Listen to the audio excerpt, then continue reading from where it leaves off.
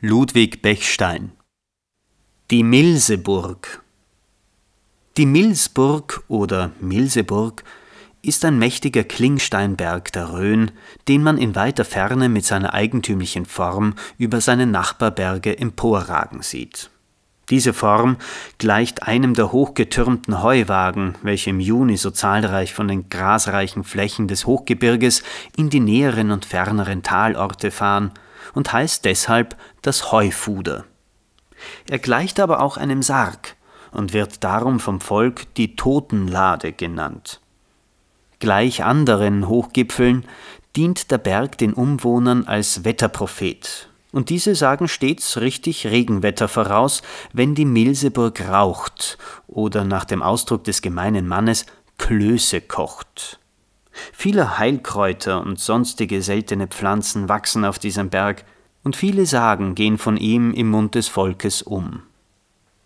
Da der heilige Gangolphus diesen Berg zum Lieblingsaufenthalt erwählt haben soll, so heißt er auch der Gangolfsberg, und es wurde die auf seiner Höhe stehende kleine Wallfahrtskapelle, welche im Jahre 1493 erbaut sein soll, diesem Heiligen geweiht.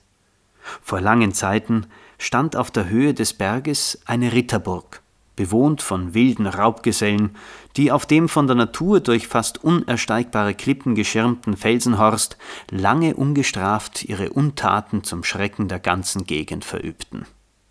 Wer diese Burg erbaute und wann sie zuerst erbaut wurde, weiß niemand zu sagen. Sie war aber eine der ältesten Burgen des Gaues, denn schon im Jahr 980 wird sie in einer Urkunde des Kaisers Otto II. erwähnt. Zu Anfang des 12. Jahrhunderts war sie ein Besitztum des Landgrafen Ludwig von Thüringen. Dieser fing im Jahr 1114 als die Wartburg von Kaiser Heinrich V. hart belagert wurde, den im Gefolge des Kaisers mitgezogenen Abt Wolfhelm von Fulda und hielt ihn drei Jahre lang auf der Milseburg gefangen.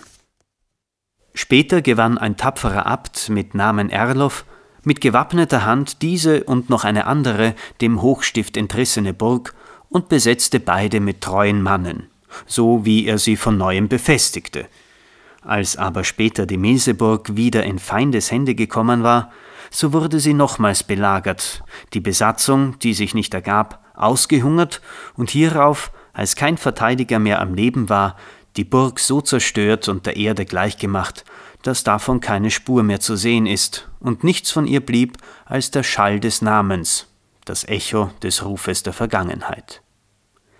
Dicht unter der Milseburg liegt die Lüdenkuppel, auch darauf soll vor Zeiten eine Burg oder Warte gestanden haben